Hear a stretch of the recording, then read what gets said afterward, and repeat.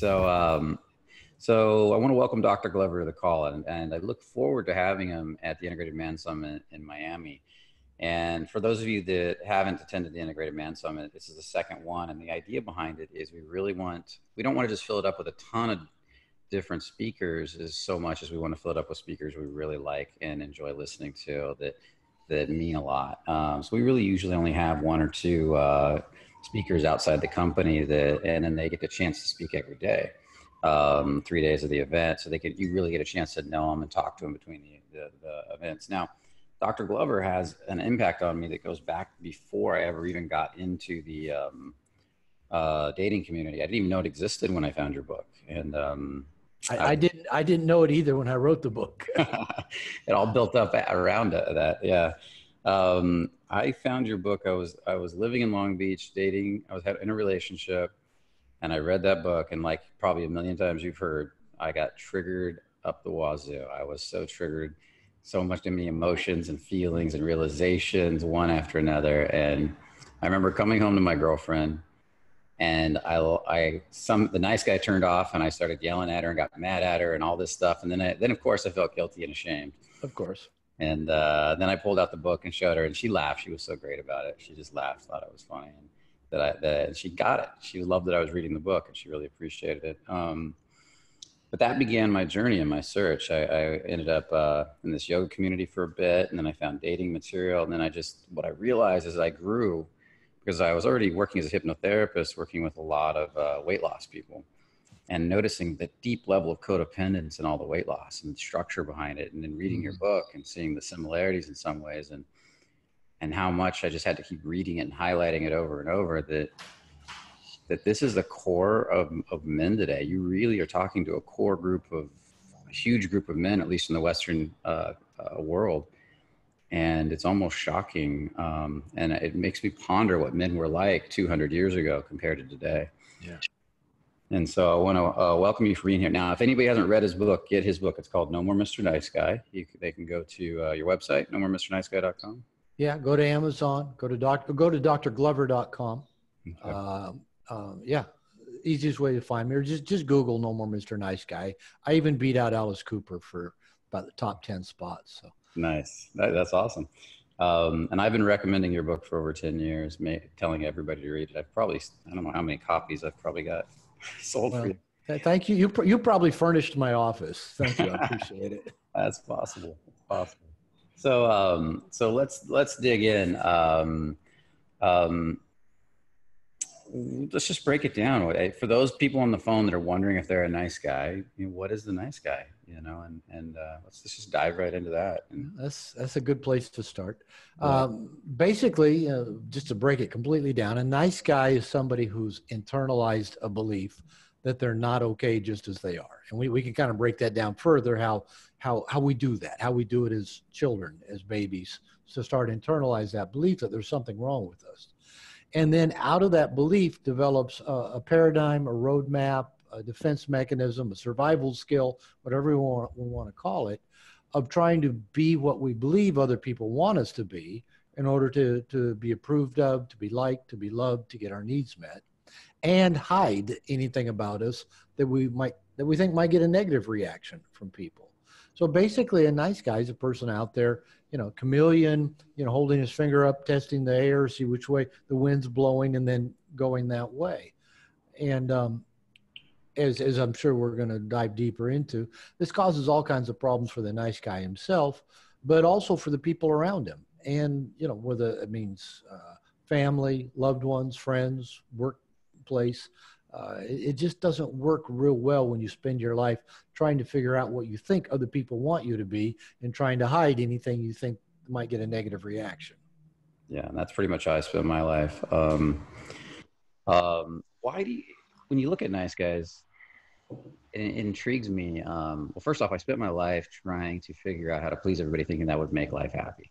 The way I talk about it is I want to get rid of all the tension out of the environment and if there's no tension, everybody's gonna be happy, which is actually the opposite of true. You know, we go to the movies to experience tension. To go on a yeah, we, we watch a sporting event to experience tension. Yeah, nice guys do a lot of um, it seems very intuitive to the nice guy himself. I'm a recovering nice guy as well. Is how I know this stuff. But a lot of stuff we do um, is the opposite of, of really what works. And then we think it should work, so we keep doing more of it, doing that whole insanity routine. But one of the things that kind of helps people really get a, a real grasp on this is something I call covert contracts. And a lot of people told me that's one thing in the book that, that really resonated the most and helped them see their patterns. But nice guys, I break it down that nice guys tend to operate by three covert contracts. They're all if then propositions. And and they're all kind of like contracts with the world, with with with women, with just, you know, whatever. Covert contract number one is that if I'm a good guy, I'll be liked and loved. Uh, and, and especially women will want to sleep with me. And you know, probably you tried this and a lot of people we work with try it. I call it nice guy seduction. Well, if I'm just really nice to women and hide my sexual agenda, listen to them talk about their problems, volunteer to help them do things, if I'm different from the other bad men I've heard them complain about, then they'll like me, love me, and want to get naked with me. And yeah. as we've all found out, it doesn't work. It puts you in the friend zone, but that's a maybe if you're lucky. Um, so, covert contract number one if, if I just um, am a good guy, I'll be liked and loved. Covert contract number two is that if I meet everybody else's needs without them having to ask, then they will meet my needs without me having to ask. And again, uh, this is another covert contract that doesn't work. Number one, nobody else knows about the contract. We're trying to guess at what other people's needs are, and we're giving them kind of what we need to give them, not what they need to receive and then assuming they'll read our minds as well and they'll give back to us without us having to ask. Well, of course, a lot of times people don't even know the contract exists, they don't know what it is we need. And to top it off, we nice guys are terrible receivers. We actually make it hard for people to give to us, and we don't usually give to ourselves very well as either, very well either. Third covert contract is if I do everything right, I'll have a smooth, problem-free life. And that's kind of like that, you know, no anxiety yeah. thing you're talking about. If I do everything right, well, number one, where's the rule book for doing everything right? You know, I don't know. I, a few people have written a book and they said, this is the rule book, you know, mm-hmm. do everything. But even in those rule books, they usually say, all fall short of the glory of God. All are sinners. You know, you can't do it right. So, but we think, oh, if I do everything right, then nothing will ever go wrong in my life. You know, my, my, my girlfriend will never get mad at me. My boss will never fire me. You know, I'll never get audited by the IRS. I'll never get a flat tire. The world doesn't work that way. But co- but nice guys believe those three covert contracts should get them everything they want in life. Should get them liked and loved. It should get their needs met, and it should get them that calm, free, problem-free life that they've been striving for since they were like three weeks old. Uh, it's funny it's, when you say all that, that calm, free, problem-free life they're striving for. It and if they got it, they would be so unhappy anyways, because I just don't think men are built to be unchallenged. We, as soon as we, we're unchallenged, living in a challenge-free world, we're bored. Yeah, you know? it, my wife tells me that all the time. She said, you know, she said if I wasn't like the ocean, if I wasn't changing every time, you'd get bored with me. Should she'll say, if I wasn't crazy, you'd get bored with me. And I said, well, I, I, I can't argue with that. And and you're right. I believe, and, and I think, you know, I, I, love going into these subjects about the things that men are struggling with nowadays, all the way from incels to MGTOW to, you know, uh, all the things that men are having difficulty with, uh, even being drawn into like, you know, white nationalism and neo-Nazi stuff.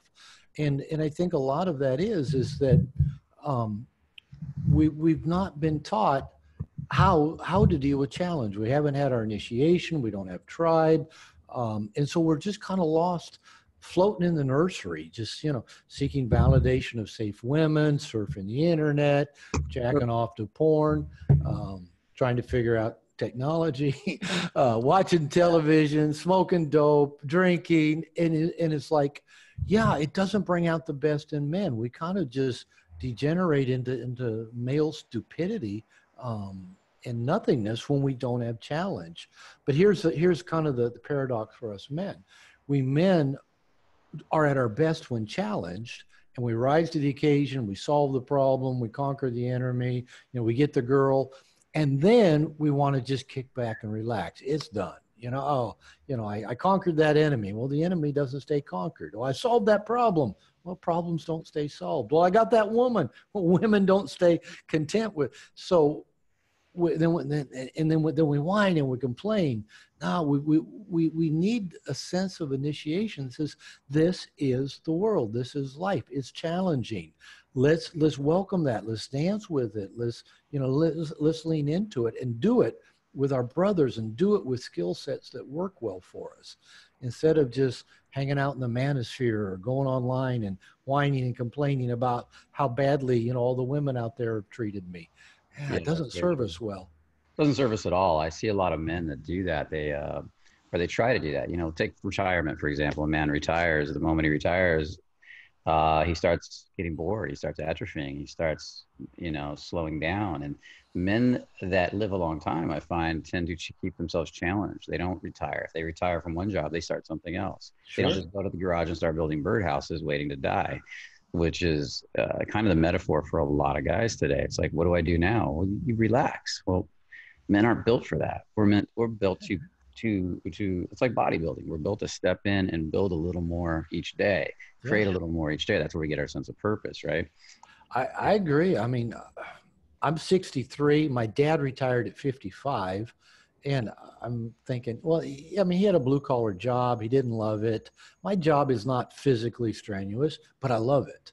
And, you know, people, I live in a retirement type community here in Puerto Vallarta, Mexico. And people all the time ask if I'm retired. And I kind of like, what's that?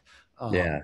I, if, if I, if I retired, I would just keep writing books. Well, that's what I do. So why would I retire from it? You know, I, will just as long as my brain holds up. Why wouldn't I keep wanting it to be challenged? I'm my my wife doesn't speak English, um, and so here I am. You know, I started in my late fifties to early sixties, learning to a foreign language and learning how to live in a foreign country and communicate. So yeah, why why would I quit looking for challenges? Yeah, I agree with that 100%. I always say there's different degrees uh, there's men out there who are nice guys who get all their attention from movies, sitting in a comfortable theater with the air conditioner, eating popcorn, drinking a soda, watching James Bond kick everybody's ass. Yeah. For a week, he wants to go out and learn karate, and then he forgets.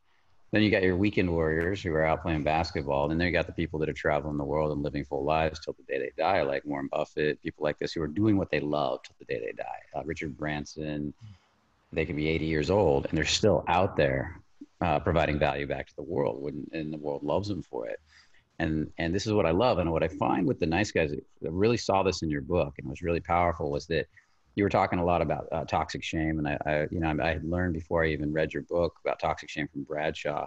Right. Shame, shame that's where I learned about it. Yeah, amazing, amazing work. And uh, shame is really at the core of it, is is it not? Well, yes. Well, I, I hesitate for a moment because when I wrote No More Mr. Nice Guy, and I and I finished writing it over 20 years ago, and it came out in 2003. And as I as I explored, I, am I'm I'm a systems analyst. I'm a problem solver. I like to figure out why things work, why they don't, and what makes them that way. And as I looked at nice guy syndrome and looked at my own life and the men I'd worked with, shame really stood out. Where um, that that trying to become something other than what I am, trying to hide you know from what i am from other people that that tends to be a shame based behavior. And toxic shame is is just a core internalized emotional belief i'm not okay just as i am. There's something wrong with me. I'm unlovable. And i, I remember my, my second wife introduced me to john bradshaw and the concept of shame. And i remember her reading me you know some some stuff out of his books. And she said well that, that's just like you. And i'm and I'm I'm a fairly intelligent guy. I had a PhD at that time in marriage and family therapy, and and it really at first I had I couldn't even grasp the concept of shame, and and and I couldn't really even see how it applied to me. Well, I was an unrecovered nice guy, but what I'd done, I just put it in such a tight compartment, and had spent so much of my life trying. I'm good. I'm good. I'm good. Look at me. Choose me. I'm good. I'm good. I do it all right, and everything that didn't fit that, I tucked it away in this little compartment and and so it took me a while really for for the shame for the idea of shame to sink in and then after writing the book i've had a number of people say you know thank you your description of toxic shame in your book was so helpful and so enlightening i thought good i must have finally gotten it and understood it to write it so i believe and I say no more Mr. Nice Guy that, that nice guy syndrome is, is fundamentally a shame based disorder. Now, I've added to that in in the 20 plus years since I finished writing No More Mr. Nice Guy. I've really also come to see a very second a second very powerful dynamic, and that's anxiety. That nice guy syndrome also tends to be an anxiety based disorder. Of everything nice guys do is around trying to manage anxiety, trying to get it right, not make mistakes, not fail, not get their shame triggered, not have somebody be mad. So, so really you've got both of those things at interplay with most nice guys whether they're conscious or not. It's that shame? I'm not good enough. And anxiety that oh no i'm in trouble. So would you say that it goes basically because the way i look at it is at the beneath the shame is probably abandonment. We talk about you talk about that sure. a lot in the book. You got the core abandonment. Then it goes the shame which probably then leads to guilt which then leads to fear of punishment and fear of doing something wrong because i'm guilty. So i'm looking at that whole domino effect and it seems like a natural cycle that all stemming from that abandonment. Um, and uh, I don't know if you can elaborate on that. If you think that's uh, well, yeah, it's it's worthwhile. And actually, um, this is something that, that we could even dive into uh, at the conference, and it's something that I like to share. Um, and, and I just give a little snapshot of it right now. But yeah, it, when, when, when a child is born, like when we were born, um, the only part of our brain that was fully online and fully activated was a part down in our brain stem called the amygdala. That's the fight, fight, free, fight, flight, freeze mechanism that, that, that we've heard about. And it's all about survival. It also controls respiration, heartbeat, you know, a lot of things that are necessary for survival. It was fully online. The thinking and reasoning part of our brain didn't finish getting wired up for us guys till we were around 25 years old. Uh, and then other parts of the brains developed at their own pace. Language comes in, you know, close to two years old. Ability to remember things kind of visually, picture memory, kind of begins around four or five years old. Most of us can't remember too many visual memories a lot younger than that. But that the, the amygdala, the survival part, was online. And the theory is, is that we store up all emotional experiences in that part of the brain. So if that's the primary part of our brain that was functioning full speed when we were just babies and we were vulnerable, we're exposed, you know, we're, we're you know, the, I think the mammal that has the longest period of time that we need our parents to take care of us. You know, most mammals just take off at a fairly young age. Um, so we're very, we're very vulnerable. And every time we have a negative experience, i.e., something that just feels bad to us inside, that it gets internalized and stored in that part of the brain, not logically, not with words, not with pictures, but at a, at a memory level. Now, that part of the brain is hardwired into every other part of our brain. It, it communicates with the rest of the brain at a very high speed and is hardwired into all of our senses uh, sight, smell, hearing, taste, touch. So, for example, you know that the fight flight freeze thing you're driving your car down the road you see something out of the corner of your eye and before you even know what it is or can think about it you know your foot hits the brake your hand this hand goes back on the seat and you don't know it but your heart rate goes up your body pumps adrenaline cortisol your palms you know get sweaty the blood goes out of the out of the outer regions eyes dilate all that stuff happens without you thinking about it.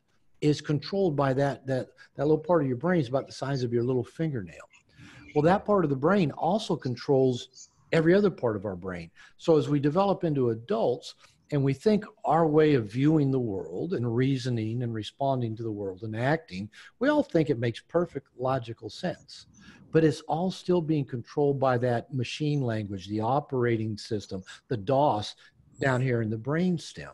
And if that internal inaccurately internalized, which it always does, it took in those emotions and began to build build constructs around them like i'm not good enough. I'm unlovable. If mom's angry at me i cause that. If dad does this i cause that. If mom and dad are fighting that's about me. The, the child is narcissistic by nature and internalizes everything is uh, about it. Now this is inaccurate but we all do it as little children and then we all develop survival mechanisms and usually two very prominent ones one is to try to manage the uncomfortable feelings we're feeling in the moment, you know, the, the fear, the anxiety, the, the this. Um, we don't have words for it, but we try to manage it. The second survival mechanism is try to prevent the things happening again in the future that cause those uncomfortable feelings. Now, out of that comes all of human survival mechanisms that, that we use in daily life. Nice guy syndrome is just one of them, but it is based on those inaccurately internalized emotional beliefs that there's something wrong with me. Um, and and I, am going to experience really dire consequences if people see that, if I don't hide it, or if I don't fix it in some way. And and we're carrying that around and believing it, it makes perfect sense because we've never had any anybody or anything to show us no that that made sense when you were three days old three weeks old three you know three months old but it doesn't make sense when you're 30 you know we, we've got to develop some new so a new a new operating system so a new machine language. It's fascinating because uh because you'll see i'll see it with a lot of clients i'm sure you see it too as we go to validate that reality too. We're 30 years old and now through our sub communication, the way we're looking at women, the way we're talking to women, the way we're talking to our girlfriend, we get them to treat us almost in the way we don't want to be treated or we're afraid of being treated at that core level. And then we say, see, isn't that true? See, look, women are, right, true. you know, why? Yeah. I, I work with a coach that calls it, I can't remember where he borrowed it from, but he calls it our occurring world. And that, ah. that means whatever we believe the world is, we find it. We we recreate it all around us because that's we all everybody does that. Everybody does it. Everybody walking the planet creates their occurring world. Yeah and, we get it reflected back to us yeah. And, and you know we're you know talking with guys like around dating. I, I, read in one book on codependency years ago and i can't remember the author um, but she said that we tend to be attracted to people who have some of the worst traits of both of our parents our occurring world is how we learned as little children to relate to mom and dad. Whatever whatever imperfect things about them we had to learn to manage as kids, we're going to be attracted to people, not just girlfriends, but friends and and you know even the jobs we take that let us use those survival mechanisms that we that developed in our occurring world, and then we're not going to we're not going to go out as adults and create a situation that doesn't let us use our best survival mechanisms. I mean, the, the mind just doesn't work like that. It wants to travel familiar territory, even if that familiar territory is painful and dysfunctional and toxic. It's what our mind knows. And that's why the work you do, the work I do, the work so many of us do, really is helping people come to understand how they developed that occurring world, that dynamic, and how we can be conscious enough to start shifting that. And, you know, as, as crazy as this is, at least as crazy as it's played out in my life, when it comes to women, I'm amazingly attracted to unhappily married women. I've, I've, tried it with a couple of them. Why? Well, my first love object, my mother, was an unhappily married woman. I spent all of my childhood, teen years, and part of my adult trying to make that unhappily married woman happy so that she would choose me, approve of me, and I'd be validated. And and so, you know, I go out and if a woman's unhappy, that's such an amazing turn on for me. I can fix that. I can get her happy. But guess what kind of relationships that leads me into? Yeah, not um, good the, the, anyway. the, the, happy women, I don't, I don't even see them on this planet. I don't even know where they are. They, they must be in some other country besides the one I'm in. I yeah. only see unhappy ones. It's funny because I used to be really super drawn. I could sniff out a bipolar woman in any room, uh, any party. I could find them so fast. And I had this distinct way of being pulled to them, attracted to them, that was a real strong, almost like uncontrollable pull. So if I started talking to a girl and I felt that pull, at first it would just I didn't understand it. But later I'd be like, she's got to be bipolar. It's like it almost became distinctive to me, and I started yes. to validate it, right? And then eventually I started not wanting to get. I'd feel that pull, and I want to get away from it because I started to understand it. And the other thing that really talks to what you just said is we. I would take new students out who are scared to death to approach women, and I was curious. So I'd say, they're terrified of women. They got fear of women. I said, just pick any girl here to ask directions, to ask something nice to. Yeah. And I watch, and I'm not gonna, I'm not gonna tell them who to walk up to. And I watch, and they will pick the most unavailable uh, woman almost every time. The woman yeah. that's going to guarantee to not be nice. They'll pass up three sweet, nice, open, relaxed girls, and they'll go right to the angry, shut down one. Yeah. And It blows my mind. Well, I tell guys, well, you know, we work with some of the same people around the same things, and guys will say, well, okay, you know, how, how do I, you know, I see a woman and, you know, how do, how do I approach her? How blah, blah, blah, blah, blah. And, and I, so for, you know, you see this, the guys that have the minimal amount of social skills, no experience with women, want to do the hardest thing on the planet, yes. i.e., go to a noisy club, see the hottest woman across a bar, and walk up to her and start a conversation, have her stay interested, and at minimum, give a phone number or go home with them. And I, I tell guys, even the pros who do this all the time, that's like the you know that's the Mount Everest of, of mm-hmm. how to do it. But it's like you know all, all, all these bad daters want to go, well, how do I go get that hot woman in the bar? You know, how, how do I have that thing? And I go, Hey, let's, let's start, let's start, you know, with, with, with women that are actually open and receptive and might actually enjoy you starting a conversation yeah. with them.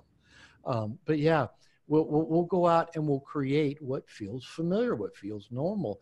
And if getting rejected by women feels normal and familiar, I promise you, well, it, it's not hard to get women to do that. And, no, not at all. And we, we, we can do it. We can even get the nicest girl in the room to reject us. yeah, if, if that's what feels normal, we'll create yeah. that occurring world. Yeah. Um, that's why I love subcommunication work so much. It, it's people just can't see it until they see the subcommunication of what they're telling people and how they're telling people to treat them. It, it's so fascinating.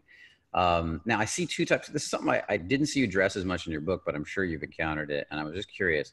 You talk about one, two types of nice guys, which I think is fascinating. But I also see another two type.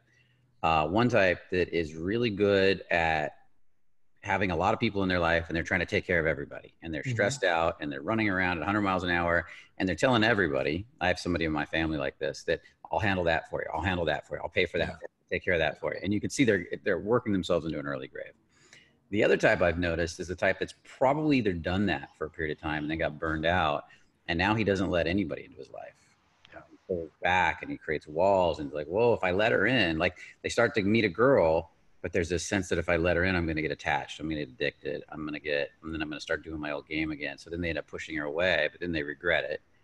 Then they get upset that they pushed her away. Have you seen that distinction between the two?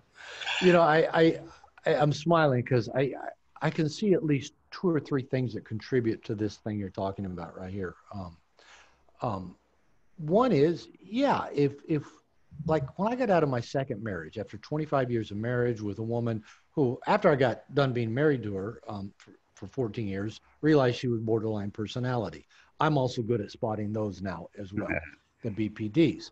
Um, but man, I, I'd done so many, so much heavy lifting in that relationship.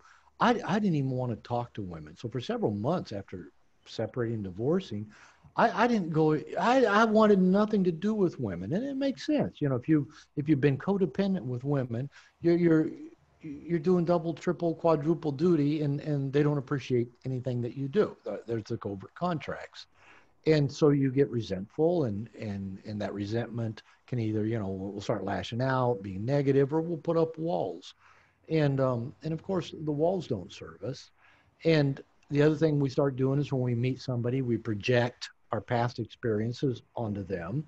Um, people have asked me, I'm, I've uh, got married for the third time uh, coming up three years ago. And I'd said for a long once I learned once I learned how to be single, thank you, and and live alone, I really liked it. And for a long time, I said I'm never going to live with a woman again, never get married again, never raise another man's kids. Well, I'm living with a woman, married to her, and raising her kids. And the thing that changed was, you know, I was projecting a lot of my old negative experiences based on my lack of boundaries, my codependency, my tolerating bad behavior, my giving too much, my, all on me.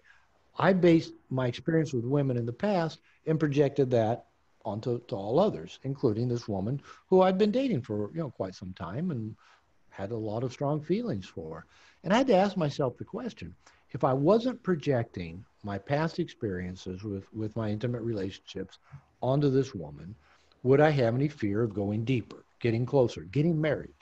I thought, no, I wouldn't. Because all my fears around getting married and getting closer to this woman were based on past experiences, not on who she was as a person and who I am now, with an ability to set boundaries or ask for what I want or stay differentiated or have healthy space or say no or stop or be a good ender for that matter. Those are skill sets I've learned that increase the odds of me having a good relationship with a good woman. But if men don't have those skill sets, um, yeah, we're going to get eaten alive in a relationship. And the thing that we do, I'll ask this question a lot of times in small groups of men. Going back to that thing I talked about, those those survival skills we learned as, as little babies, little children in our family. I'll ask guys, what is your number one relationship fear? And that number one relationship fear usually goes back to those earliest experiences. We think it has to do with our first wife or second wife, but it goes back to mom and dad. We just recreate it with whatever's come since. And every guy can usually tell you what his number one relationship fear is getting smothered, getting trapped, being cheated on, you know, being neglected, being abused, being hurt. You know, we, we, most guys don't even have to think about it. They can tell you what their number one relationship fear is. And, and then, as you said, we, we've gone out and recreated that over and over again with women because it feels normal. Well, we also have a number one relationship fear defense mechanism. Right? And again, we learned these as little kids, little boys, uh, as children. And whatever our number one fear is, we will have a defense mechanism to protect us. If it's our fear of being trapped or smothered, we're kind of like this with women. We don't let them get too close. You know, if it's our fear of them getting angry at us, we tend to get like codependent and try to make sure everything's good all the time. We'll, we'll have a number one survival mechanism. But here's the problem that number one survival mechanism pre- just keeps us stuck and trapped and prevents us from actually really ever getting close to anybody and actually ever really just enjoying the depth of an intimate relationship. Yes. Because all the time we know this one thing's going to happen to us and we've got our guard and protection up to make sure that thing doesn't happen or that we manage it when we see it coming. And all of those defense mechanisms, by the very nature, a defense mechanism keeps people from getting close to us. So as as crazy as it sounds, we actually have to be able to identify our one, two, three top relationship fears and be willing to lean into those and be willing to to show up in a very conscious way and let our adult relationships i call them per, powerful personal growth machines they they will bring up every one of our childhood wounding, survival mechanisms. I mean, I, I, was a marriage therapist for almost 30 years. So, you know, I, I, I tried to help couples. All right, if they're struggling with each other, I try to help them understand. Now, you're really struggling, each of you struggling with mom and dad. And you're just projecting that onto each other. And if you know that, you can use your partner to help you deal with those top one, two, or three relationship fears and help you understand why you picked the partner you picked because they usually match those fears well or 180 degrees the opposite and then we'll flip back and forth usually between them and what our defense mechanisms are and most of the problems people have in relationship is built around those defense mechanisms is what we're doing to protect ourselves from what we fear most and then the other person of course keeps reacting to our defense mechanism as we keep reacting to theirs yeah, yeah. It reminds me of two things. I remember, um, you know, Abraham Hicks is right? The uh, the author uh, did a lot of the spiritual law of attraction books. Yeah, yeah. He said something in an interview. I just I've always quoted it over and over. There's two quotes. One is from her, and him or them or whatever you want to say. Him and his uh, wife and whoever they were channeling. Yeah, yeah.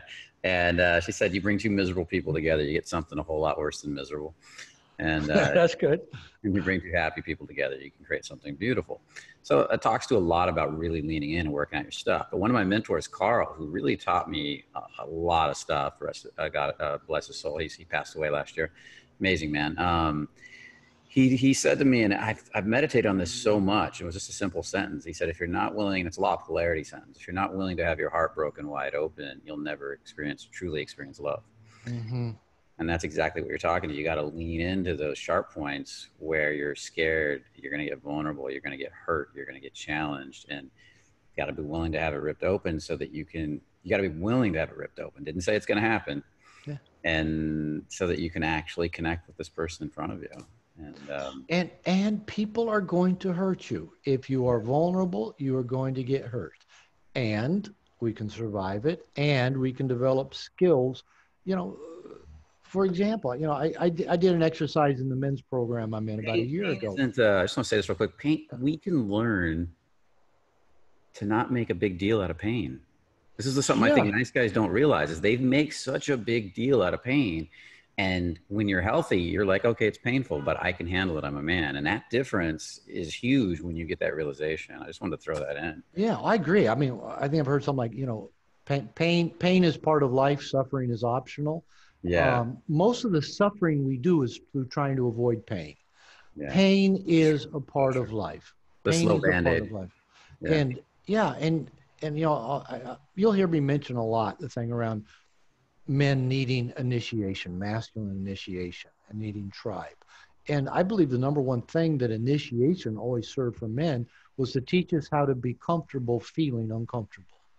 And and for most of us men nowadays, that's why I say we kind of tend to hang out in the nursery where it's comfortable. You know, it's comfortable surfing the internet. It's comfortable looking at porn. It's comfortable smoking dope. But they don't move us ahead as men. They don't expand us. They don't challenge us. As men, we need initiation. We need mentors. We need guidance. We need accountabilities. We need friends. We need guys to help us learn how to get comfortable being uncomfortable. I promise you, we as humans, as men, we were not wired to be in long-term monogamous relationships with women. It's not in our DNA. It's not what we're wired for. We're not wired actually to approach and date dating has only existed in, in, in human history for about 60, 70 years, maybe. You know, our parents just met somebody at church or somebody they went to school with, or, you know, most people just married their best friend's younger sister, or, you know, you know, dating hasn't existed, but we're all thinking we should be able to date. We should be able to have successful long term relationships. All of that stuff is not in our DNA. So it's all going to make us uncomfortable. Yep. And you know, living with another human being, no matter who they are. You know, it could be Gandhi, it could be Jesus, it could be Buddha. They're going to make us uncomfortable at times. And but to do anything of meaning in life, to have an intimate relationship, to live with purpose and passion, to to to live, you know, up to our, our, our full potential, we got to get comfortable being uncomfortable. And so. and you and I teach men how to do that with women. It's a great initiation. If we can learn to show up with women, hold on to ourselves, be present, be conscious, be available, set the tone and lead, have good boundaries when necessary, remove ourselves when necessary. Man, what what what a per- fantastic opportunity to, to to grow us as men. And I think it. Uh, would you agree that initiation? And this is kind of the same thing you're saying. Really, is is a big part of initiation is to get men over the fear of death too in primitive tribes. Because, yeah because we, I, we get so afraid to live because we're afraid to die.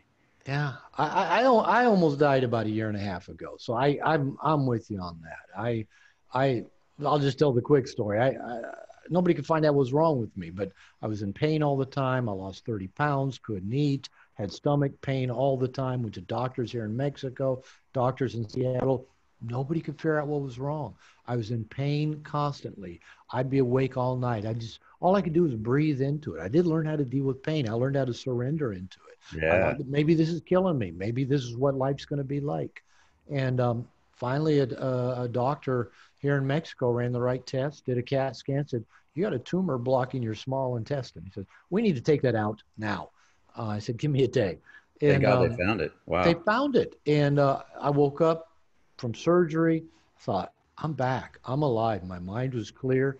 And I laid in bed that night, rebuilt, reorganizing my website, repurposing everything I've, all the things I've written. I've got a whiteboard right here that says 10 books in 10 years. I made that commitment a year ago, March. After went to a Mankind Project weekend, and first question they asked is, "What's your mission?" Next weekend, I went to a workshop with John Wineland, my coach, the program I'm in. We talked about our purpose, our impossible goal. I said, I'm going to write 10 books in 10 years and uh, I've completed two, and I'm partway through a third, and that was just a little over a year ago. Congratulations! So there's nothing like you know fa- looking at death, going into surgery, um, and, you know, with a Mexican doctor in a Mexican hospital that you don't know from Adam, and you're going, I may not wake up, and I don't. If I do wake up, I don't know what kind of condition I'm going to be in. That you, you, you, you got to be okay with it. You got to let go. Yeah. And, and I tell people, I was really at peace going into surgery. It might have been the Valium they put in yeah. me, but I was really at peace with This is okay. Whatever's happening here is okay. And I promise you, you you have an experience like that, you want to live. I still mm. fall back into old habits of, of like putting stuff off and but let me man, ask you it, really it quick. You up. That piece, you had how much pain before the surgery? So do you feel that pain got you to the point of the surrendering to all that pain got you to the point of peace over the surgery? Like um, probably a combination, yeah, because probably a couple of things. One is that I was working with my coach for different reasons when I got sick, and and he does tons of different kinds of breath work, um, yogic, Wim Hof, um, just all kinds of qigong types of breath and body work. That helped a lot actually to just kind of just to be able to breathe into whatever I was experiencing, kind of connect with the cosmos and just you know just be with it. Eh, but I, I still remember one evening, kind of lying in the bed. I was like napping three or four times a day, no energy, that constant stomach pain, uh, just cramping, cramping, and um, I just thought, okay, I'm going to quit fighting this. It just is what it is. You know, I don't know. I don't know where it's taking me.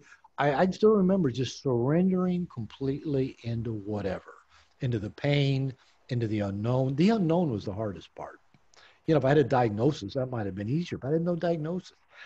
Excuse me, that was hard. But I surrendered into that as well. All right, I don't know. I'm going to surrender into not knowing. And yes, when by time you know that the, they're wheeling me in for surgery, I was kind of like, okay, I'm okay, I'm good. You know, I was, I was, I was right where I needed to be. A lot of letting and go. Yeah. A lot letting of letting go. go. Yeah. So I agree with you 100% that um, Carlos Castaneda says, you know, keep keep death. It's always right here at your left side. You know, keep keep it close to you.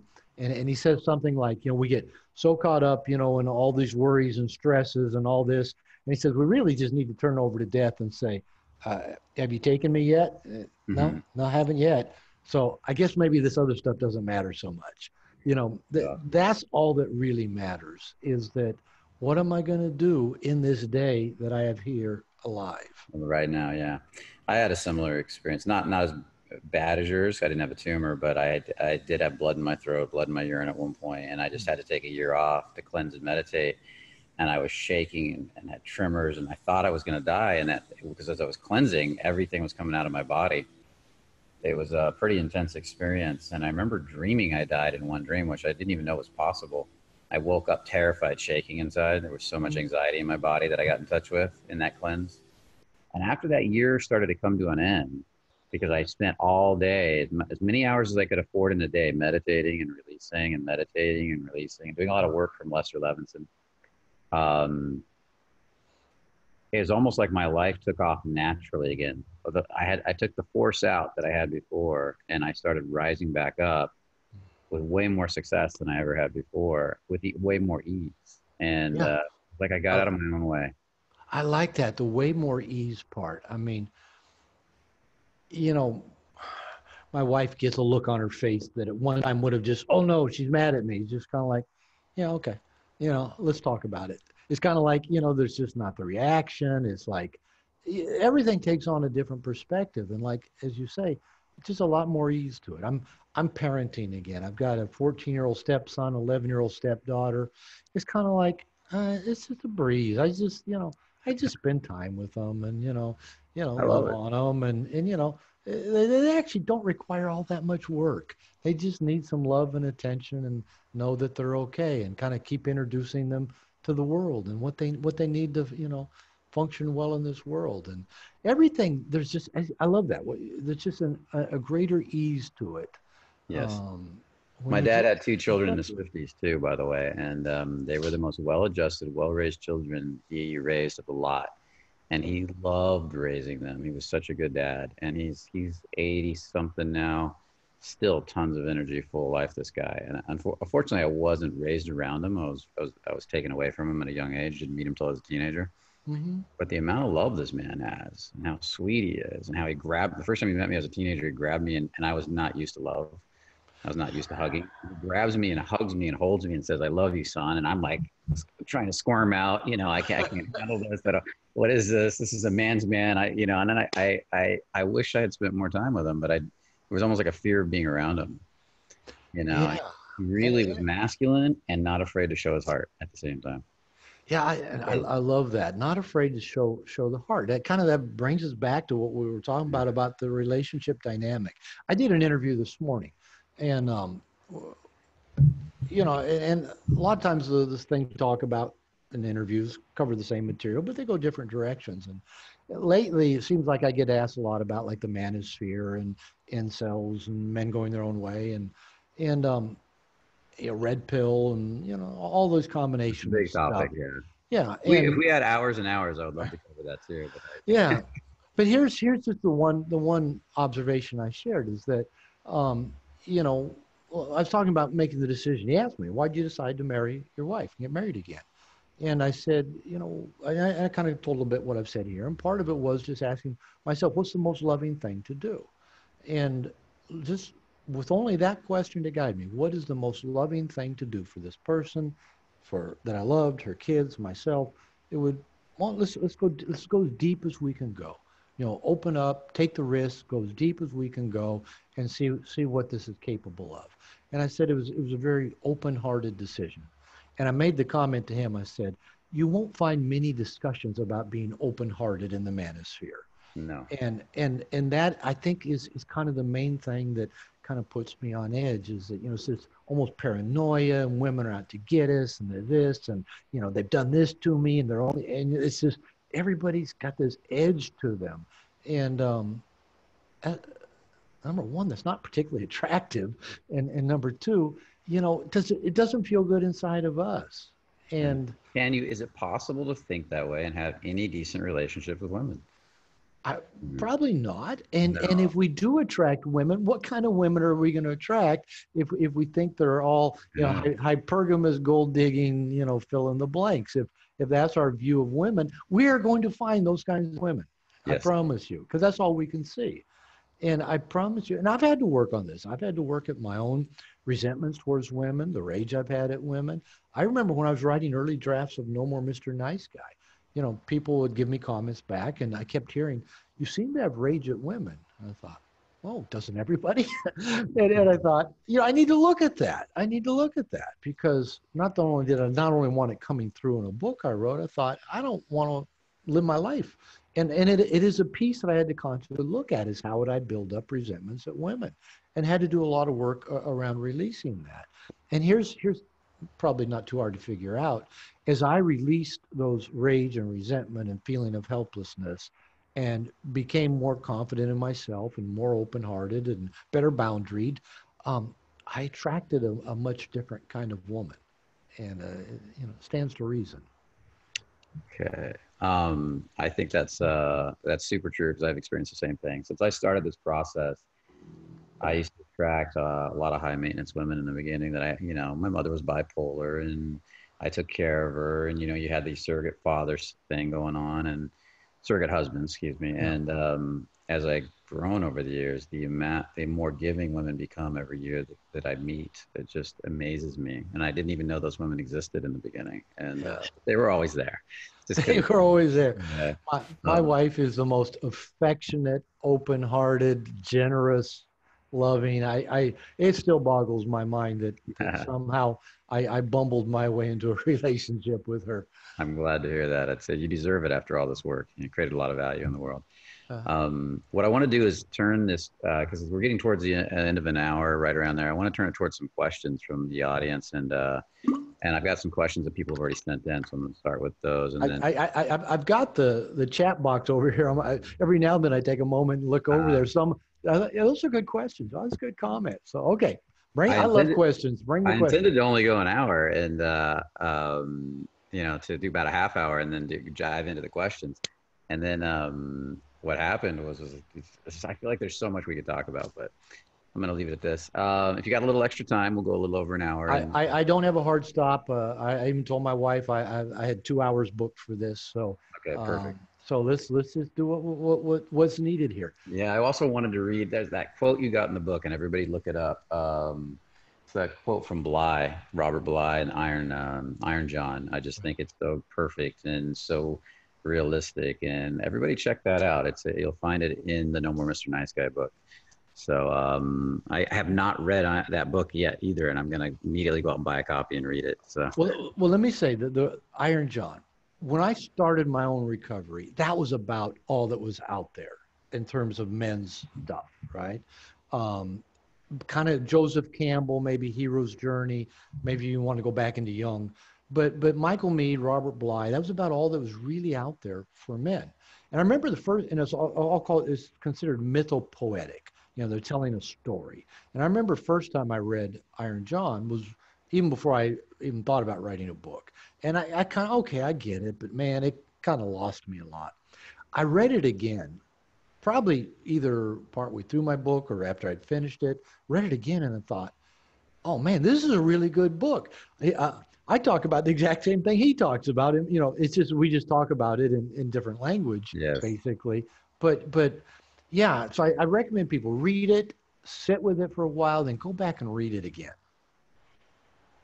I say the same thing about your book, by the way.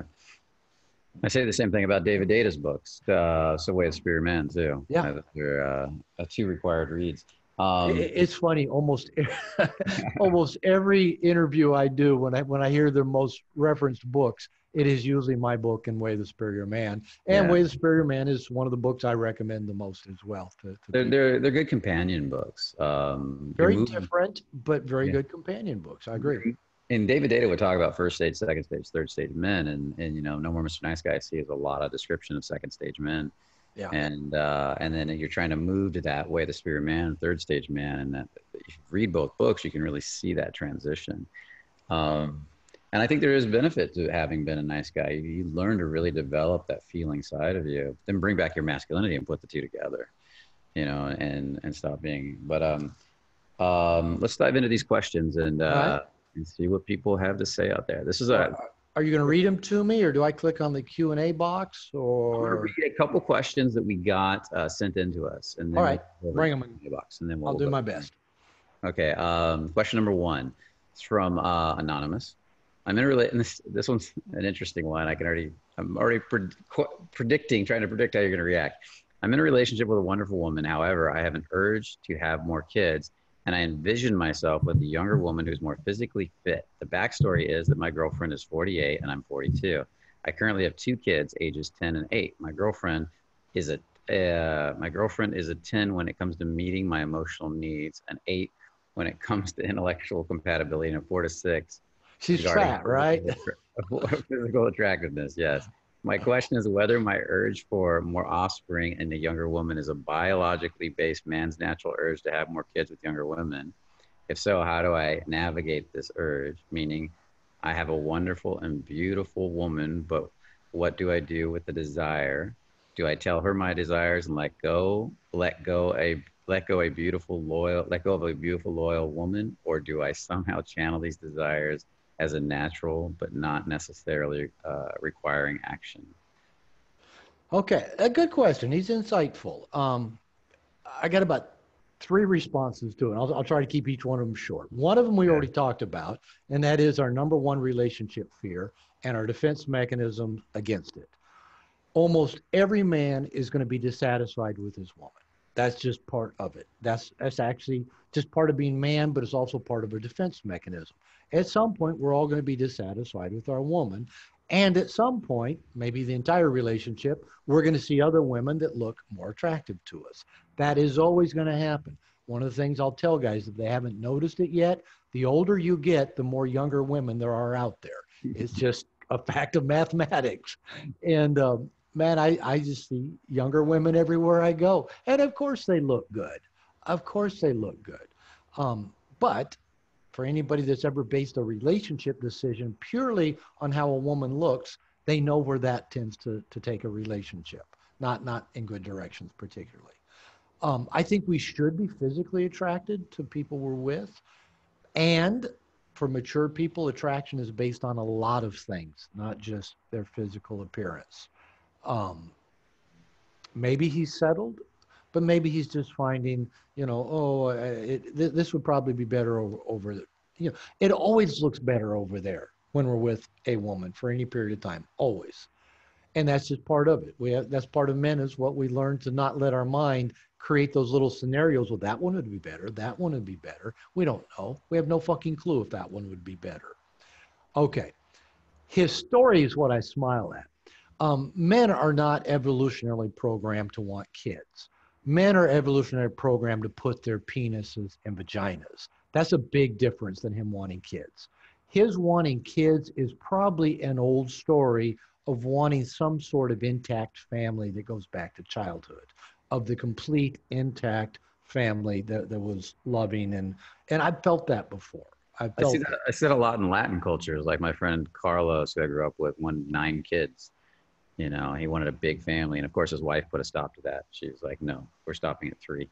Yeah, uh, in macho cultures, it's not uncommon. I live in a macho culture, and the reason that most men want a bunch of kids is to keep their wife at home so that their wives don't stray. That's really the reason that, that men tend to want the big families. And often they don't do that good a job of taking care of all the kids they, they've created, at least in macho cultures. So he, he needs to go address these issues with a coach or a therapist. Um, those are not the issues he net. You know, if you're feeling unattracted to your to your woman, there are ways you deal with that, but you first have to deal with are you projecting things from somewhere else? Because I found, for example, my wife is not somebody who would have turned my head physically when I first met her. I think she's fucking gorgeous because of all the deeper ways that I'm attracted to her. So that we go work that out somewhere else other than with his wife, and also come to the conclusion that as long as we are in monogamous long-term relationships, we're always going to long to be out of them no matter how good a care the woman takes care of us. And and you, to maintain that love, you've got to constantly be going deeper, growing together in some way. I see so many couples that try to. Once we're married, we just stop. Here, we got our beer and our lounge chair and our big screen TV. Yeah. We're done. Yeah, and that's a surefire way to die. You know, the relationship to die. So it is. I agree. And I'll just add one other piece to this guy, and we, I know you got a bunch more questions. Um, keep working on what I call your great cake of a life, and that is pursuing your passions, spending time with guy friends um, regular strenuous exercise, leaning into challenge, some kind of devotional spiritual practice, give your gift to the world. And then that great cake, a woman is only the icing on top. And there's something about the better the cake a man makes, the, the sweeter the woman on top is. But as soon as we get focused on the woman and how she's not this or she's not that, we've made her our cake. And I find that when men have a great cake, um, they, they don't tend to get into as many of those things uh, feeling dissatisfied with their woman. The answer. Thank you for that.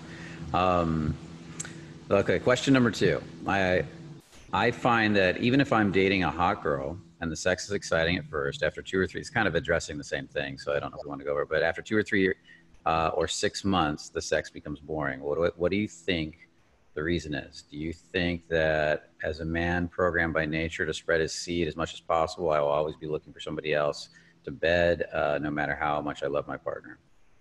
Okay. Um, I'll, I'll, just I'll give a personal answer to it. I, I know what he's talking about, and as a marriage therapist, that tends to happen. You know, people lose interest in each other.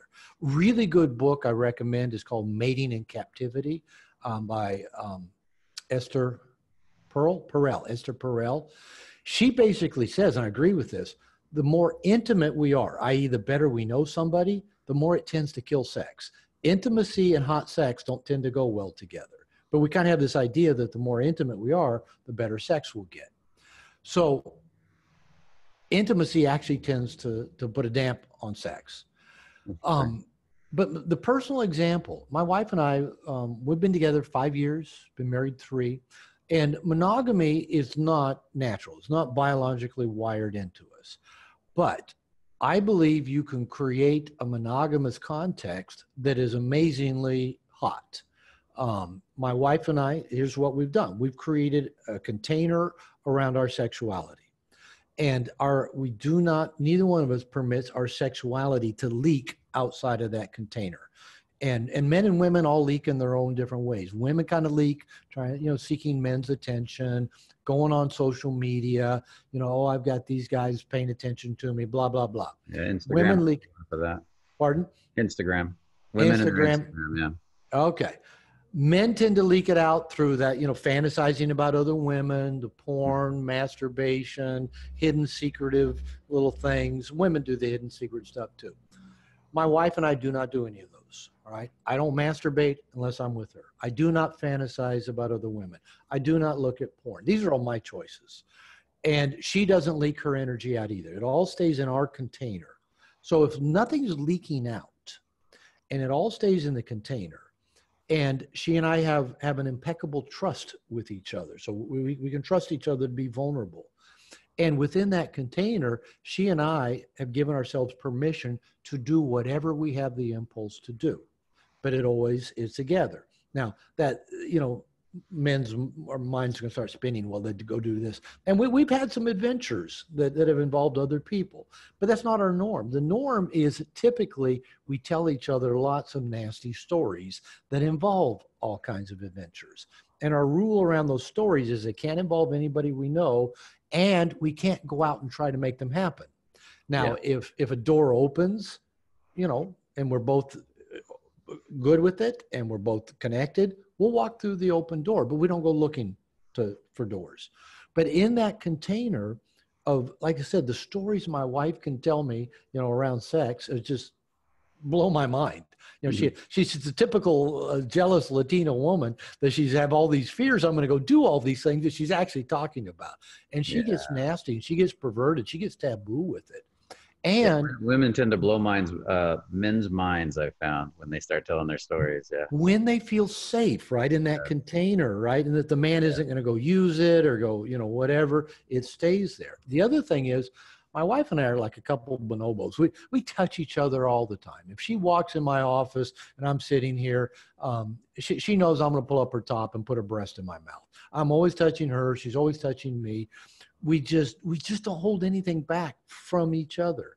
And i tell you what our sex is never ever boring.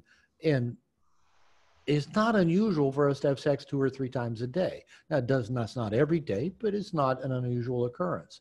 And i say all that because this is, this is a man in his 60s right? I'm 63 and now, I, I am I am grateful for, I am grateful for Viagra and testosterone supplementation. She's 22 years younger than me, yeah. but is wants sex all the time is, is her love language. So i'm not trying to like do anything to anybody other than we can have a monogamous relationship where the sex stays hot but there's certain things that have to be in place to make that happen. Well, the container is so important and not leaking because it, you build up all that sexual energy and you have and this is your outlet. And every time you you use her for an outlet just like porn becomes habit she becomes the habit of the outlet the way i'm hearing it versus the porn um, do you believe in any of the uh, having sex without ejaculating, Mantak Chia? I, I was just going to add to that. I, I only come about once or twice a month, um, and that do helps the, do so the, much. Oh my God, yeah. Yeah, it changed our sex life. First time I introduced that idea from from some some clients of mine that have done the uh, the new TNT. You know, just there's different guys that come at it from different ways. I said, uh, when I introduced it to my wife while we were married, she said, well, you can't do that. You can't go a week without ejaculating. Uh, so I'm going to try. And then, you know, about two weeks into this, she started telling everybody she knew, tell your man not to come. Tell your man. She's telling her gay friends, her women friends, tell your man not to come. It's better. Um, it got darker, nastier when I quit coming because when we guys come, everything comes to a screeching halt. You know? Yes, But if the guy isn't coming, this shit can go on for hours. And yeah, I mean, you got to learn to breathe. You got to learn to slow. You got to learn to, and, and you don't do math problems in your head. You stay present. You just learn to, to, to feel the ebb and flow of the sexual energy. It's part of learning to get comfortable with tension. But it, it, it's, yes, if I came every time we had sex, I'd lose interest in sex. By me not coming, it keeps my interest up at, at a high level as now, well. For all the guys, this is what guys always say is like, if I don't come, uh, then I'm going to be unsatisfied and get blue balls. And what happens? Doesn't happen. Yeah. That's you not real. It's just, uh, you may have tension, but you can learn to move tension in your body to breathe into it. And so, okay, you got tension. It should keep driving you back to your partner. And, yeah, you learn to run the pleasure through your body more rather than exactly. out your cock. Yeah. And you learn to run it into your life more instead of out of your cock. You bring that tension and that energy to penetrating the world. You bring you bring your A game to the world. guys, I get, you know, kind of like, I, I, I can't do that.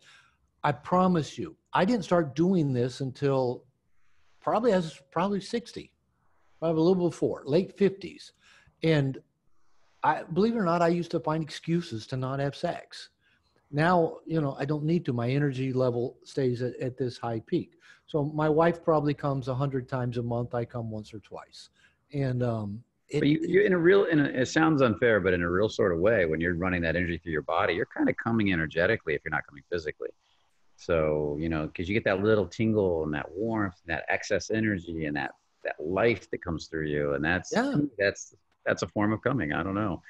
Yeah. It, it's, it's, it's a form of energy and it's powerful. And, yeah. uh, and, and orgasm, I should say orgasm, not coming. So. Yeah. Well, well, here's the thing. Again, I think an immature man avoids tension, discomfort, or tries to release it as soon as possible. A mature man has learned to embrace discomfort, yes. embrace challenge, embrace tension, and has learned to dance with it and channel it and use it. I mean, Freud talked about this, about, you know, sublimating sexual drive into every good thing that's ever happened in the, in the world, you know, yes. building things, curing things, fixing things. Um, that's what mature men do. They, they use their nice energy guy. in a mature way. Exactly. Nice guys want to dissipate energy and get everything calm and smooth. Yeah, we want to increase the energy and play with it like Play-Doh. And, and yeah, yeah, yeah. We're yeah. on the same page. Yes. Okay. Question number three. Um, uh, this is great. It's all coming along. It all working perfect. What is the best way to deal with uh, your partner when she is or appears to be not in the mood to have sex, but but you feel horny. it doesn't happen to me lot much, but luckily. Uh, but I, I uh, I'm just gonna leave it at that. I'm gonna shorten the question because there's a lot more of him. Okay. Yeah, that that sounds perfect. And, and yet that's you know that's kind of the the guy question, the guy dilemma. My my second marriage, you know, my my wife rarely wanted to have sex. She she announced we had an affair with each other. Right, we're both married, and this the fair culminated in us getting married to each other. So it was highly sexual. And on our honeymoon, she says, Aren't you glad now that we're married, we don't have to pretend to like sex anymore? I'm thinking, Huh? I wasn't pretending. So I spent 14 more years with her trying to figure out, you know, trying to get her to want to have sex. We'd go months without sex. Okay. In that situation, there's no turning that around. If, if a woman just has no interest in having sex with you for whatever reason, there's no turning that around. Um, don't don't spend years trying to fix that. Now, if it's a situation where he's you know in the mood a little bit more often than her, uh, that, that's that's that's not the big issue. And every now and then you don't get it every time you want it, but he's probably still into ejaculation sex as well. He's wanting to ejaculate probably. Um, but there's also that wanting the closeness, and we have closeness without having to have penetration or ejaculation. So I don't know that I have like, well, here's the answer how to fix it. I'd, I'd need to talk with, you know, both him and his partner. But part of this is finding a good match to match you sexually. And one of the things I tell guys, you need to be willing to get to rejection quickly with your woman around sex, meaning you need to find out quickly, is she a good match for you? If you would prefer to have sex five, six times a week or twice a day, and she wants it every month or so, that's not a very good match and you got to be willing to accept that's not a very good match. In his question, I, I was a little unfair to him. He said uh, later on, he says, you know, it doesn't happen very often, so it's good, and they, they do enjoy sex yeah. together. But how does he? He was kind of questioning what's the best way to deal with the feeling rejected uh, when she says no, and he says, uh, he says, I just say to myself, that's her loss. Is that a good way to do it? Okay, well, let's talk about that. That's a little bit different issue. So let's talk about the rejection issue. Um, and I, I have to deal with this a lot with men around dating and stuff. But I tell guys, rejection doesn't hurt, and I can I can I can do fun exercises with guys where they get rejected over and over again, and they have fun doing it. Is context. If you believe a person's low interest, that's all I call it. Low interest, talking to you, giving you a phone number, having sex with you, even if it's your partner. If you take their low low interest in whatever as a sign that you're unlovable, you're defective, you're not good enough, i.e., if it ties into our shame, rejection hurts. But that but it's not the rejection that hurts, it's the meaning we put on it, the context, the story. And so we, we make up stories. Well, that woman didn't talk to me because blah blah. Either we make it about us or we make it about her. probably we're wrong either way we look at it. Our stories usually are not very accurate. So he creates a story if his wife is not sexually interested. And then he believes his story. And if the story matches old shame, internalized shame pieces, it hurts. Okay. So here's what uh, happens with a lot of guys is that we have a need for connectedness or closeness, or maybe we're, we have some repressed emotional state. We're anxious, we're scared, we're, you know, whatever, something's going on. And what we men tend to do when we have uncomfortable emotional states, we go up into our head and overthink, overanalyze, or we go down into our genitals and try to squeeze the tension out that way we do that with our women. We will have this unexpressed, unknown emotional state, and we get all analytical, or we want to go, you know, you know, squeeze one off, jerk it off, whatever, have sex with our woman. So a lot of times when we're having emotional need, we come to our woman sexually, and women are highly tuned to masculine neediness. It feels shitty to them. It, it, it just does. Um, that doesn't mean they don't want us to have emotional states. They're okay with that. It's when we have a repressed emotional neediness. It feels like this big emotional hose we want to suck up, you know, hook up to them and suck something out of them to take care of our little boy that's not feeling good right now. Women feel it. It repulses them. So often they kind of go like this when they feel our neediness. We, what we've done is we, we've, we've, we've put our emotional neediness on top of sex we presented to them as a sexual request, they've said no to our emotional neediness. We take it as a rejection of both our sexual desires and what we don't realize because we're emotionally needy, they're not letting us hook up the hose, just intensifies whatever that un, undealt with emotional state is. So then we kind of go internalize and turn into little boys and ruminate and be pissy that, oh, you know, she didn't want me. She didn't want to take care of me. It's usually repeating an old story. So I would tell the guy rather than trying to get his wife to have sex when she's not in the mood, instead, notice the story he makes up about her not being in the mood. Notice the emotional state he lets himself go into, and then ask himself, what story is this emotional state and story telling me about me? Not was it telling me about her? Was it is his stuff, is his mood? What yep. is it telling him about him? And then if he's open to it, he'll go, Oh, yeah, I'm probably not feeling needed right now, or I'm feeling kind of lonely right now, or I'm I'm stressed about this thing at work tomorrow and I just wanted a distraction. And then you can go deal with whatever's real. Then our women are going to find us more attractive. It's it's it's a it's great answer, and I um, it reminds me. I will just tell this short little story. I was on um, might have been mushrooms at one time with my girlfriend, and uh, we took them together. And she made me really mad uh, right as we started, and I went into a slightly bad trip. And I was trying to get out of it, and I realized this I can't get out of this because I separated from her. I went to another room, so I went and laid down next to her and said, "I need to face the fear. I need to face the emotion or the anger." Mm-hmm. And as I was laying next to her, it started to dissolve, and then I could feel myself getting comfortable being next to her and everything. Whatever the story was went away. Yeah. But then I started to want closeness from her. I wanted to hold her. I wanted her close to me. And I was like, I started to feel this little neediness. So I started to lean into her with the neediness. And instantly she pulled away on like, like the moment she's like, and she turned her back to me. Yeah.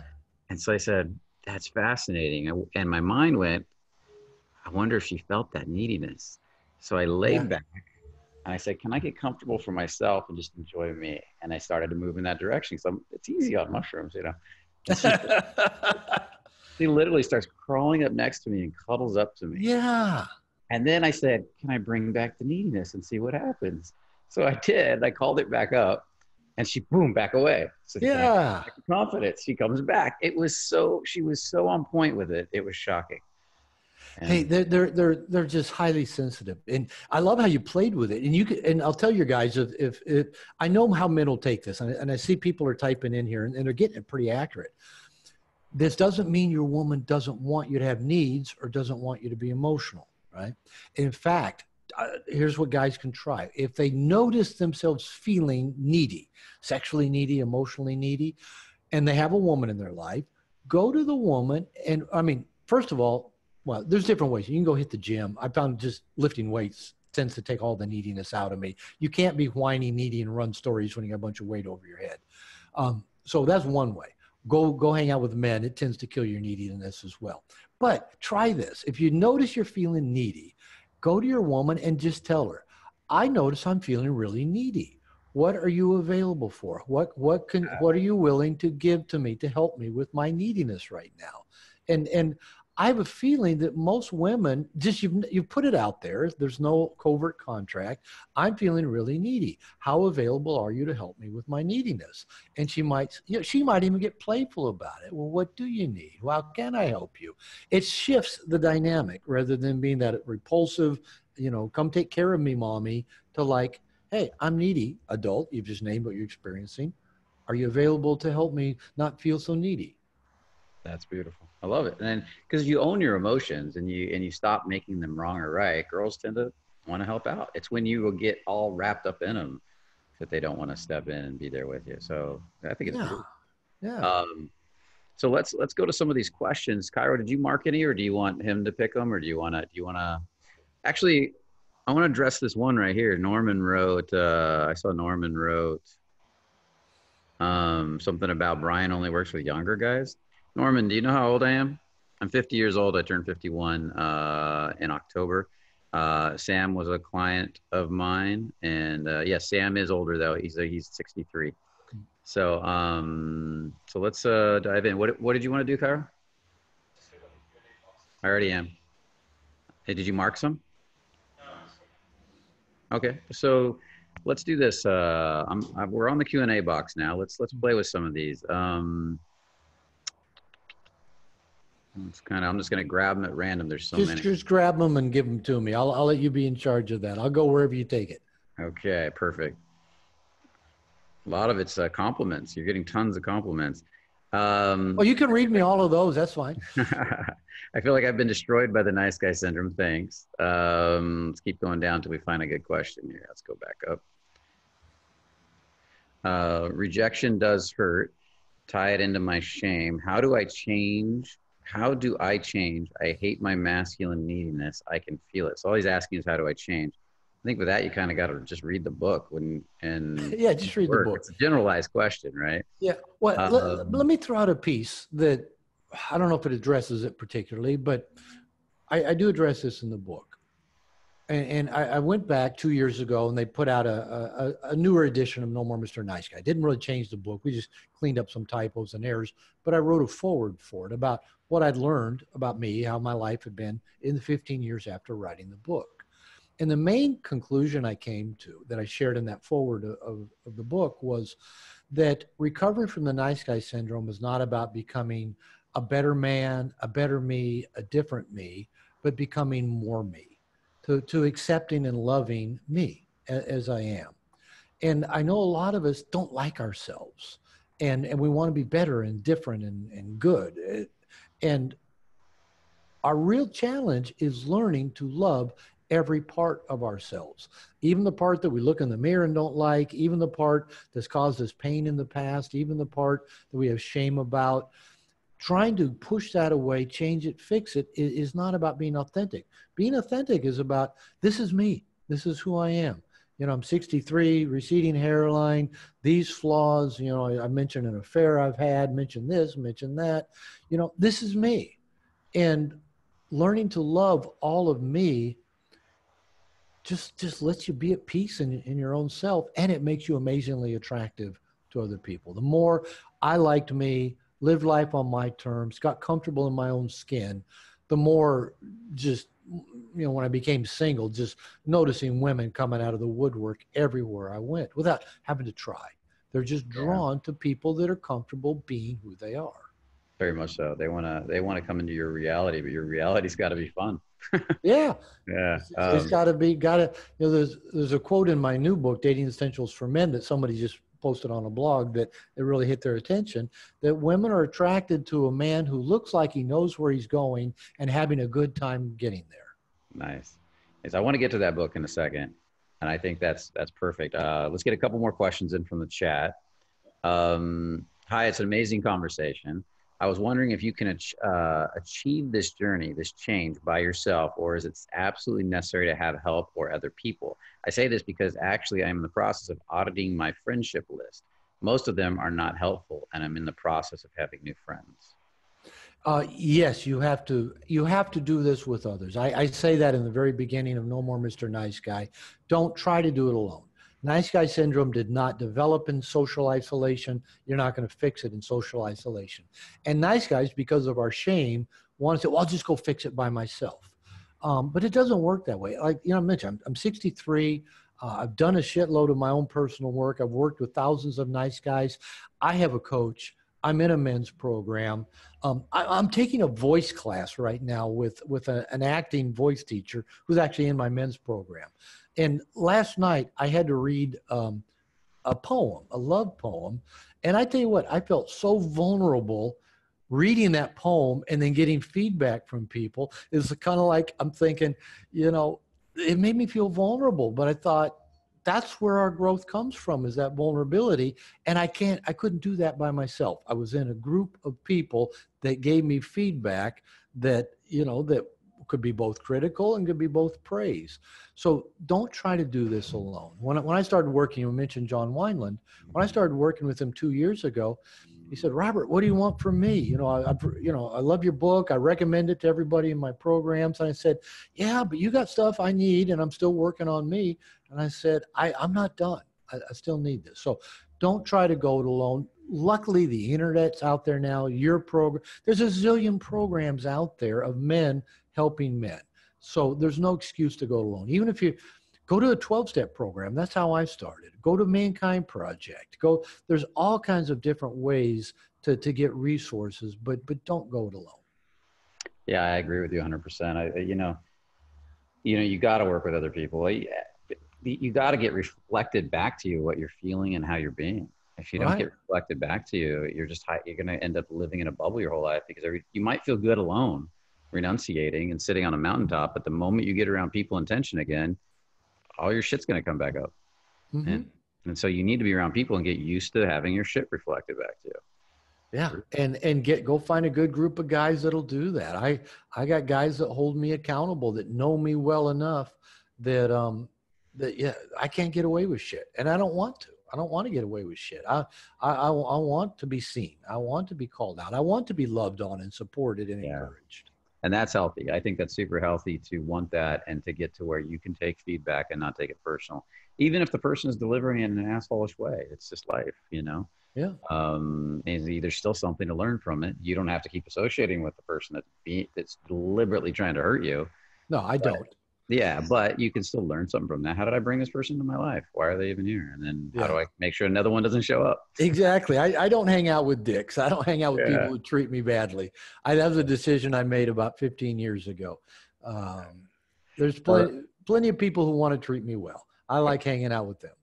Perfect. Let's do a, a couple more questions, and then I'm gonna. Well, I'll let you talk about your book and uh, for a little bit, your new book. Okay. We'll close it out. And um, and uh, this this one right here is very simple, but I, I, thought about it a little bit, and I think it's an important question. Um, what's the defense mechanism for the fear of getting fucked over? Is what he's asking. And I, I when I look at that, I think that's a lot of guys today. They're afraid of having all their money taken away. They're afraid of the women taking advantage of them. They're afraid of the women you know, because of the because of all this the Me Too movement and all this stuff mm-hmm. today. Yeah. So, well, I have two thoughts. Uh, just pop up with the question. Yeah, I, I get that that that's the fear. Uh, well, I have maybe three thoughts. Number one, no matter what happens, you'll handle it. Um, I've been divorced twice. Um, neither woman tried to mess me over, but there, there were still some things that had to be dealt with. I had to stand up for myself. Um, and I got married a third time, and people said, get a prenup, do this, do that. You know what? If women can change when they go through divorce, I get it. Um, I, have often said women's math skills go to hell when they go through divorce. 50 50 takes on weird proportions. Um, and, and, yeah, men have been, been taken to the cleaners, and the court systems do support that in some cases. Um, and the woman I'm with, she said more than once, you know, if you want me to leave, if I leave, I'll take, I'll, I'll leave with what I brought. And I said, well, no, you're not going to. I'll make sure of that. But Um, if my woman took everything I've got and left me and just took me for everything I've got, number one, I'd survive. And number two, if I made it once, I can make it again. I, I don't I don't lose sleep over that. I don't worry about it. Um, so these these pe- people are worrying about shit like I can't handle that. I can't handle if it happens. And as we've already talked about, if we're out there living our life based on what we can't handle, guess what we're going to attract, right? Yes. How about if you knew you'd handle it? If if if you know if the court system's jacked you over, what if you knew you can handle it? Okay, and the other piece of this, there's there's almost this karmic thing and I've seen it with men and women both. But if you have a fear of being cheated on, of being deceived, whatever, you will either attract people that are cheaters or you will drive a good person to cheat. And I know it. I've seen it from both sides of the equation. People that are afraid of being fucked over tend to drive people to fuck them over. It's it's just something about your how you interact with people. If you've got this fear of being fucked over, usually you accuse them of a lot of stuff. You're always snooping. You're always questioning. You don't you don't take them at the word. You don't believe them, and that shit makes people behave badly. It's you know it's it's karmic in some way. So I'm I would tell guys whatever you're afraid of is probably what you're going to attract. So why not invite what you're afraid of. Why not lean into it? Why not say, bring it? Let's dance with it. You know, come on, babe. You know, let, let's get all in. Because I promise you, if you live with a person projecting your fear onto them, I promise you, they'll find a way to make your fear come true. It just happens. Especially women to men, you know, that you keep projecting onto a woman, she feels it so strongly. And it's almost like you push them to do it, you know, and I, I've, I've seen that. Yeah.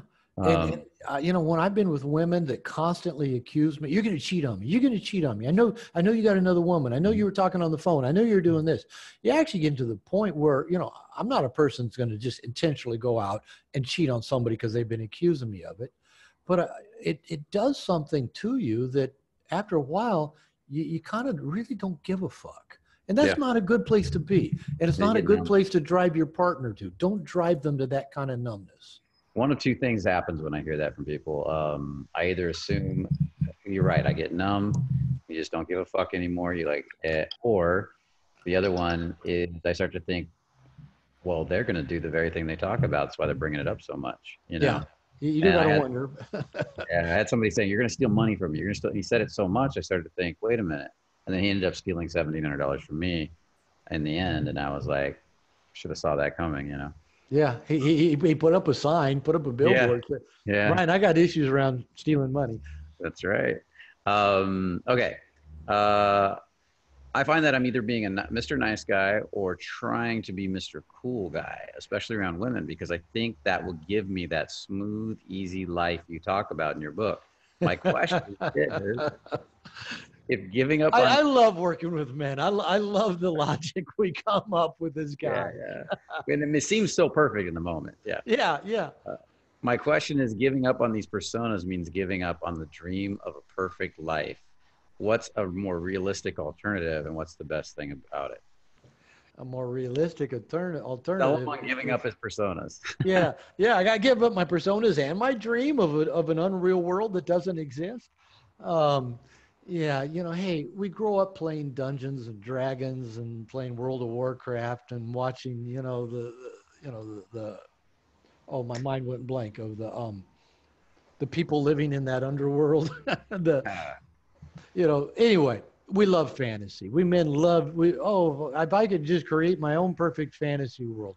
Um, it's called growing up. We don't live in this smooth, problem-free world. We live in a world where where you get you know tumors in your colon where you where you do get cheated on where women do leave you and take the kids and you got to pay for them we live in a world like that all right? Are we going to hide away from it?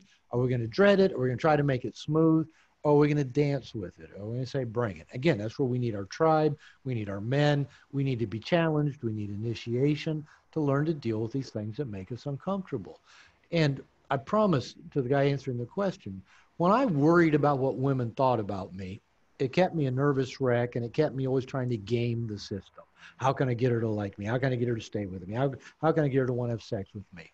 when I quit doing that and just said, what do I want to get up and do today? How do I want to live my life today? All of a sudden, I didn't have to do that anymore. And I wasn't anxious around women or trying to game them.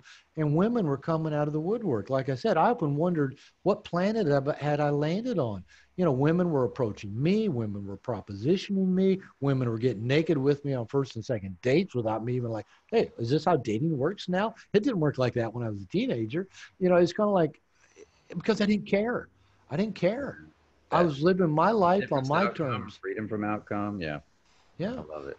I was just getting up every day, living living the life I wanted to live. And you know, if a woman happened to come along and be icing on top of that great cake, wonderful. If I didn't have icing, it didn't matter. Yeah, the other guys are all trying to get into her life, and you're saying, "I'm going to have a great life without you. If you if you want to hop on the ride, feel free." Yeah, you know, feel but, free. Uh, we'll we'll, we'll just see how it works for both of us. Exactly. Yeah. Okay, I got one more good question. It comes from Anthony, and uh, Anthony's one of my coaches, and I just I like the question. And then we'll talk a little bit about your book uh, because uh, he's got a new book out there. I think you guys should all check it out. I need to read it myself.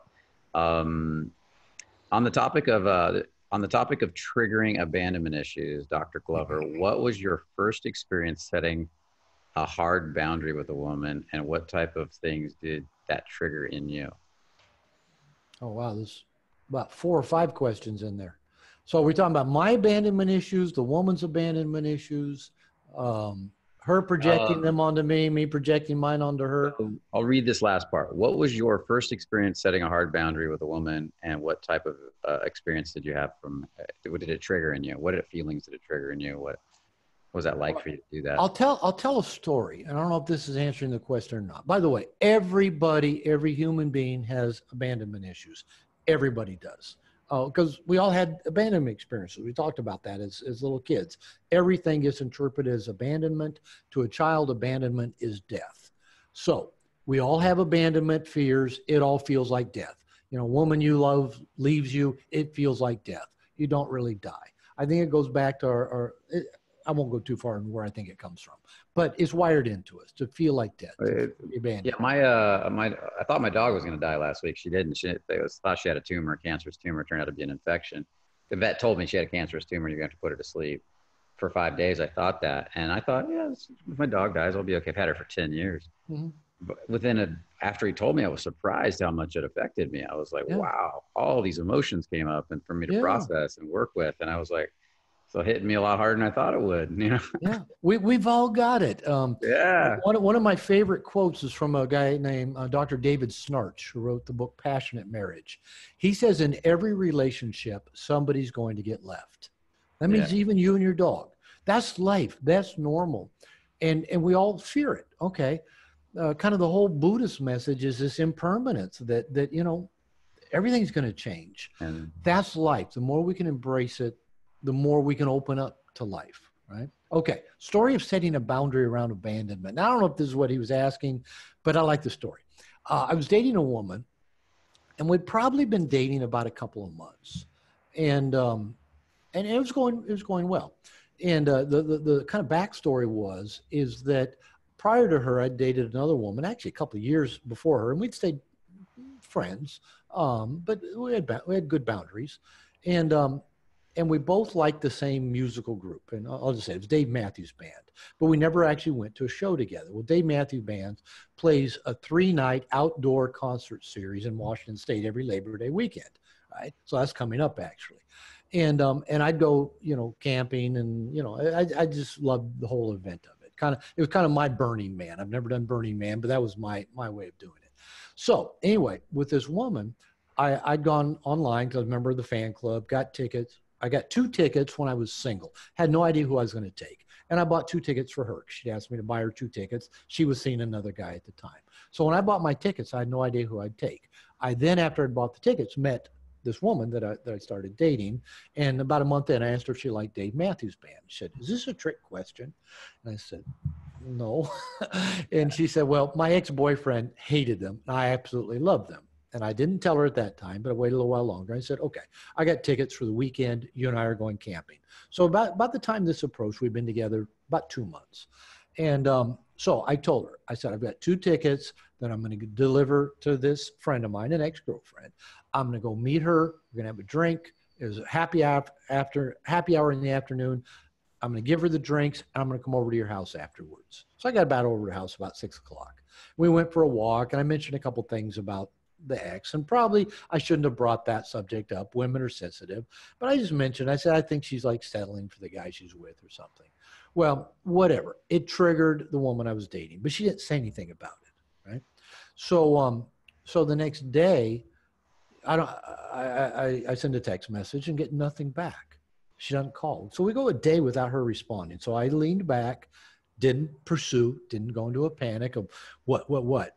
And then um, the next morning, I think she responded to a message. I said, What's up with that? I said, You didn't call, didn't return messages.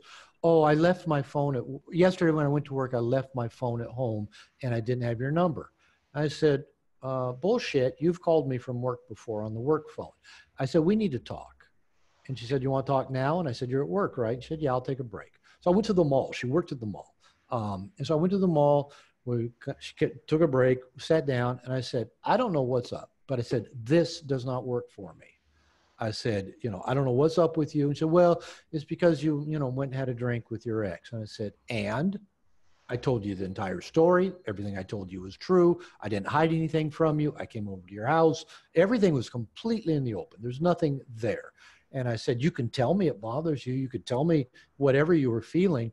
But I said, This thing of you just not calling back or not replying to text messages, that doesn't work for me. And she goes, You're right. You're right. That wasn't a good thing to do.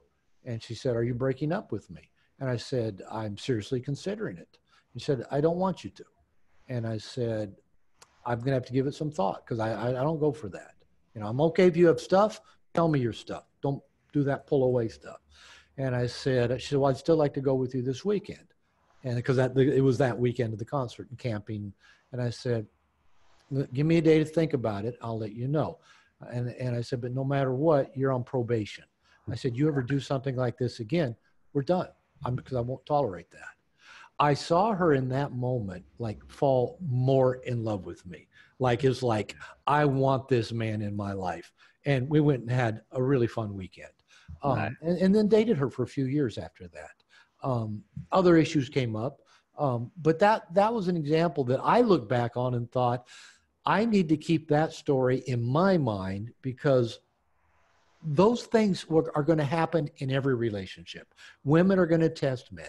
Women are going to run their defense mechanisms. They're going to do their shit test. They're going to pull away. They're going to challenge him. And if a guy can say, say to the woman, that doesn't work for me. If you want to hang out with me, you've got to do it this way. That doesn't work for you, or you need to have, we need to have a discussion about that. And if men can do that in that clear, powerful way, it invites the woman to be at her best behavior. It invites her into that challenge of a relationship and where she has to grow and, and can't just revert into her little girl, her defense mechanisms. And um, it, it lets the woman know what's required of her if she wants to hang out with this amazing guy. I find that those kind of boundaries turn women on where they go, I, I like that. I, I had one other example similar to that. It was actually with the women I bought the woman I bought the tickets for. She and I had started dating, hadn't slept together yet. But I took a trip and like didn't hear from her over the weekend. And I got back and said, "How was your weekend?" Well, was good. She, I said, well, "What'd you do?" Well, I hung out with a friend. And I said, "Oh, okay." I said, "A guy?" She goes, "Yeah, uh, ex-boyfriend." I go, "Okay." Cool. You know, we weren't sleeping together or anything yet. And um, I, I, said, uh, do you still sleep with him? And she says, well, I won't let him, you know, put his penis in my vagina, but we still do some things together. I said, did you this weekend? And, I mean, I wasn't drilling her. And she said, uh, yeah. I said, okay. I said, I, I have no idea, no desire to control you, tell you who to see, who not to see. But I said, but if you want to keep hanging out with me, I'm not going to tell you don't see him, but all I'll ask if you want to keep hanging out with me, if you want to get deeper with me, no boyfriend, girlfriend type behaviors with him. She goes, okay, let me think about that. And like next time I saw her a few days later, said, I got to tell you something.